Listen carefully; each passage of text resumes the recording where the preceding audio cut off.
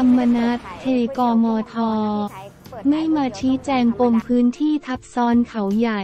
บิ๊กป๊อตส่งตัวแทนเข้าแจงธรรมนัฐเทกมทที่ดินความมั่นคง ไม่มาชี้แจงตามนัดปมพื้นที่ทับซ้อนเขาใหญ่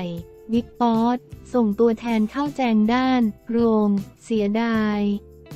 วันนี้ได้ข้อมูลไม่ครบเมื่อเวลา 9 นาฬิกา 40 นาที วันที่ 6 มีนาคม 2567 ที่รัฐสภามีการประชุมร่วมกันระหว่างคณะกรรมาการ กมท การที่ดินทรัพยากรธรรมชาติและสิ่งแวดล้อม สภาผู้แทนราษฎรที่มีนายอภิชาติสิริสุนทร สสบัญชีรายชื่อ และเลขาธิการพักก้าวไกลเป็นประธาน และกมทความมั่นคงแห่งรัฐกิจการชายแดนไทยยุทธศาสตร์ชาติและการปฏิรูปประเทศ ที่มีนายรังสีมันโรมสสบัญชีรายชื่อพักก้าวไกลเป็นประธาน โดยมีการพิจารณาวาระติดตามปัญหาเขตปฏิรูปทับซ้อนพื้นที่อุทยานแห่งชาติเขาใหญ่ ตำบลหมูสีอำเภอปากช่อง จังหวัดนครราชสีมา ซึ่งได้เชิญรออธรรมนัฐพรมเผ่ารัฐมนตรีว่าการกระทรวงเกษตรและสหกรณ์แต่รออธรรมนัฐมีหนังสือแจ้งขอเลื่อนเนื่องจากติดภารกิจเร่งด่วนคือเป็นประธานวันสถาปนาสปก และได้เชิญพลตำรวจเอกพัชรวาดวงสุวรรณรัฐมนตรีว่าการกระทรวงทรัพยากรธรรมชาติและสิ่งแวดล้อม ซึ่งได้มอบรองปลัดกระทรวงทรัพย์ เข้าชี้แจงแทนรวมถึงเชิญสำนักงานปฏิรูปที่ดินเพื่อเกษตรกรรม แต่ทางสำนักงานไม่เข้าร่วมชี้แจง และไม่ส่งผู้แทนและได้เชิญเลขานุการคณะกรรมการป้องกันและปราบปรามการทุจริตแห่งชาติ ปปช เลขานุการสำนักงานคณะกรรมการกฤษฎีกา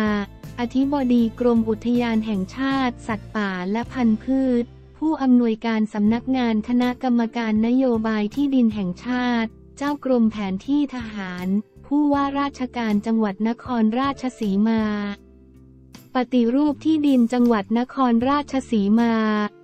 ในอำเภอปากช่อง ทั้งนี้ก่อนเข้าสู่วาระการประชุมนายรังสีมันกล่าวว่าในการพิจารณาครั้งนี้อยากให้ทุกฝ่ายใช้กลไกของกมทหาทางออกร่วมกัน แต่เสียดายที่การพิจารณาในครั้งนี้ไม่มีตัวแทนฝั่งกระทรวงเกษตรศาสตร์จึงทำให้ในการพิจารณาครั้งนี้ขาดข้อมูลบางส่วน แม้ว่าเราจะพยายามเชิญหน่วยงานเข้ามา จากนั้นเป็นการอัปเดตความคืบหน้าในการลงพื้นที่ของกมทการที่ดิน โดยนายอภิชาติกล่าวว่าจากการลงพื้นที่พบว่ามีการปักหมุดแบ่งพื้นที่ชัดเจน โดยภาพรวมกมทหลายคนมีความเห็นเบื้องต้นว่า พื้นที่ในจุดนั้นเป็นเขตป่าไม้ที่สมบูรณ์ ไม่เหมาะสำหรับเป็นแหล่งที่ดินเกษตรกรรม นายอภิชาติกล่าวต่อว่าและทางสปกเอง ก็ได้ส่งรายชื่อผู้ที่ได้โฉนดที่ดินสปก ในพื้นที่มาฮักมอทอซึ่งจะมีการส่งต่อให้ทางปปช ในพื้นที่ไปตรวจสอบความถูกต้องเกี่ยวกับการถือครองที่ดินว่าได้มาอย่างถูกต้องหรือไม่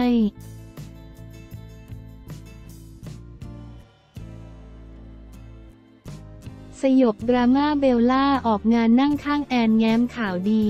จิรานี คัมแบ็กสยบดราม่าอยู่หมัดเบลล่า รานีออกงานนั่งข้างแอนทองประสมแง้มข่าวดี จิรานีคัมแบ็กจ่อร่วมงานเจมจิรายุไม่รู้จิกหมอนไหม แต่ได้ขำแน่นอนปิดฉากดราม่าเครื่องหมายสี่เหลี่ยมทำไมพี่แอนไม่ชวนเบลล่า เล่นละคร ลงทันทีหลังจากที่เมื่อวานนี้ วันที่ 5 มีนาคม 67 สองนางเอกรุ่นพี่รุ่นน้องร่วมช่อง แอนทองประสมและเบลล่ารานีแคมเปนไปร่วมงาน World Fashion District EQUINOX Summer 2024 ที่ EM Glass ชั้น G ศูนย์การค้า Emosphere แถมยังมีซีนนั่งเคียงข้างกันอีกด้วย หลังจบงานเบลล่าได้ให้สัมภาษณ์ถึงเรื่องนี้โดยบอกว่า วันนี้มาร่วมงานได้เจอพี่แอนนั่งข้างกัน คุยกันถึงข่าวว่าอะไรกันก็ไม่รู้เนอะเรียกว่าเป็นครั้งแรกที่คุยกัน พี่แอนไม่ได้ว่าอะไรบอกว่ามันก็จบไปแล้วแหละ ถามว่าได้ถ่ายภาพคู่กันไหมมีเซลฟี่กันสามคนพี่แอนเบลและเจมส์จิค่ะ ภาพนั่งเคียงข้างกันวันนี้ก็เป็นการสยบข่าวทั้งหมด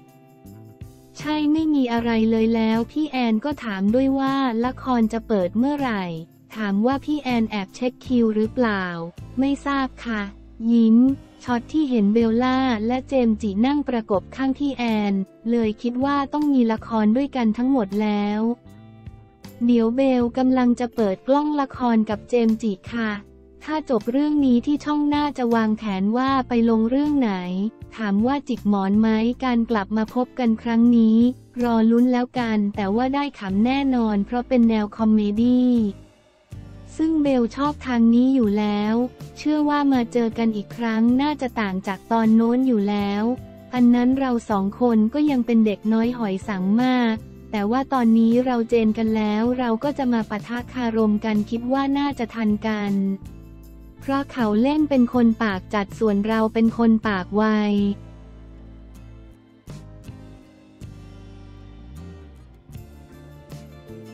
สภาเดือด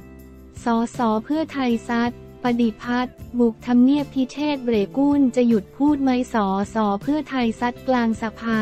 ปฏิพัฒน์ก้าวไก่ฝ่ายบริหารไปบุกทำเนียบรัฐบาลทำเสียศักดิ์ศรีทีรชัยเน็บไปแบบโคจรไม่มีใครตอนรับ ตัวเองไป บิ๊กตู่ยังเลี้ยงกาแฟ พิเชษเบรกุนเมื่อเวลา 10นาฬิกา30 นาทีวันที่ 6 มีนาคม 2567 ที่รัฐสภาในการประชุมสภาผู้แทนราษฎรที่มีนายพิเชษเชื้อเมืองพานรองประธานสภาคนที่สองเป็นประธานการประชุมก่อนเข้าสู่วาระการพิจารณานายชัยวัฒนาตินรัตน์สสมหาสารคามพักเพื่อไทย ลุกขึ้นตำหนิการทำหน้าที่ของนายปฏิพัฒน์สันติพาดารองประธานสภาคนที่หนึ่งที่ไปยื่นหนังสือที่ทำเนียบรัฐบาลเมื่อวันที่หนึ่งมีนาคมที่ผ่านมานายชัยวัฒนากล่าวว่าถือว่าไม่เหมาะสมทั้งที่ประมุขฝ่ายนิติบัญญัติ มีอำนาจหน้าที่ดำเนินกิจการของสภา ให้เป็นไปตามข้อบังคับ และต้องวางตนเป็นกลาง แม้นายปฏิพัฒน์จะบอกว่าไปในนามส่วนตัว แต่ก็สลัดไม่ออกว่าเป็นประมุขฝ่ายนิติบัญญัติ หากตนไม่ลุกขึ้นมาพูด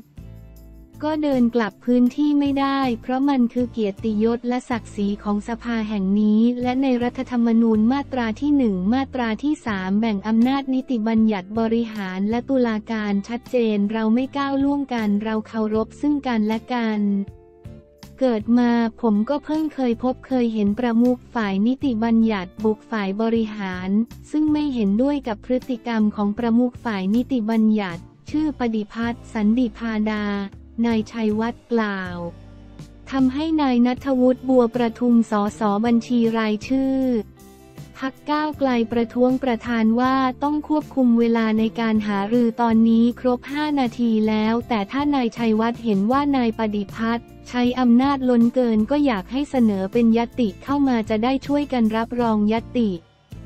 จะพิจารณาทั้งวันก็ยินดีตนไม่ชอบที่จะมาบอกว่าใครอยู่มาก่อน อยู่หลังประชาชนจะเป็นคนตัดสินเองนายชัยวัฒน์โต้ว่าไม่เป็นปัญหาพวกตนหวานก็ต้องอมขมก็ต้องกลืน เพราะว่าอยู่ฝ่ายประชาธิปไตยด้วยกัน ด้านนายพิเชษวินิจฉัยว่าตนฟังแล้วนายชัยวัฒน์พูดถึงศักดิ์ศรีของสสและอำนาจฝ่ายนิติบัญญัติบริหารและตุลาการ ซึ่งก็เป็นเรื่องที่น่าสนใจและสังคมตั้งข้อสังเกตไว้ และหากนายปฏิพัฒน์ขึ้นมาทำหน้าที่ประธานที่ประชุมก็จะได้ชี้แจง จากนั้นนายธีรชัยแสนแก้วสอสออุดรธานี พักเพื่อไทยอภิปรายว่า ตนชื่อชมการปฏิบัติหน้าที่ของนายปฏิพัฒน์มาตลอด เพราะมาจากการเลือกตั้งเป็นสอสอเขต เหมือนกับตน แต่การที่จะเสนอกฎหมายอย่างสมัยที่แล้วตนเสนอร่างงบ รอบออ้อย และน้ำตาลทราย กว่าที่พลเอกประยุทธ์จันโอชา นายกรัฐมนตรีขณะนั้นจะลงนามเป็นเวลาเกือบสองปี ฉะนั้นสิ่งที่นายปฏิพัฒน์ทำไปนั้นตนว่าลาออกเถอะมันเสียศักดิ์ศรีหากท่านเข้าไปตามตรอกออกตามประตู ได้รับการต้อนรับอย่างดีในการประสานงาน แต่นี่มันเสียศักดิ์ศรีสถาบันรัฐสภาไปแบบโคจรไปไม่มีใครต้อนรับมีเจ้าหน้าที่จากไหนไม่รู้มาต้อนรับ ผมไปตอนนั้นนายกรัฐมนตรีประยุทธ์เลี้ยงกาแฟ แต่ครั้งนี้นายกรัฐมนตรีก็ไม่ได้มา อย่างน้อยก็ต้องรองนายกรัฐมนตรีมาต้อนรับ นายธีรชัยกล่าวนายพิเชษปิดไม้ไม่ให้พูด แต่นายธีรชัยยังคงตะโกนลั่นห้องประชุมนายพิเชษจึงกล่าวว่า ท่านจะฟังผมไหมท่านธีรชัยจะหยุดไหมท่านจะหยุดพูดไหม ท่านนั่งลง ทำให้นายธีรชัยต้องนั่งลงนายพิเชษชี้แจงว่า เดี๋ยวตนจะเชิญประชุมวิปสามฝ่ายทั้งรัฐบาลวิปฝ่ายค้าน และตัวแทนรัฐบาลมาหารือในสัปดาห์หน้าเพื่อจะดูว่าเรื่องไหนที่เร่งด่วนจำเป็น และการทำหน้าที่ของแต่ละคนก็แล้วแต่ดุลยพินิษของประธาน ตามรัฐธรรมนูญแล้วแต่ว่าท่านจะปฏิบัติหน้าที่อย่างไร เดี๋ยวนายปฏิพัฒน์ขึ้นมาทำหน้าที่ประธานที่ประชุม ก็ให้ท่านชี้แจง